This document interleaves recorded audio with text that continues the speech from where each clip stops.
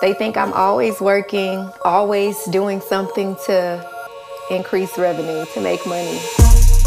They think I live and breathe boutique, when in actuality, it's a lot of sleep.